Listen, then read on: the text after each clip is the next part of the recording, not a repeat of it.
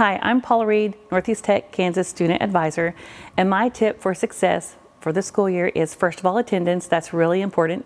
But secondly, and just as importantly, is to maintain a positive attitude. I know sometimes it's hard to stay positive in the face of difficulties or challenges. You're going to make mistakes, and that's okay. That's how we learn. If you knew everything, you wouldn't have to be here. And so I just want you to know that we're all here for you. And if you can come to see me or go see your instructor or a good friend, um, just lean on each other. And it's going to be a great school year. Just keep that positive attitude and that positive mindset, and everything's going to work out okay.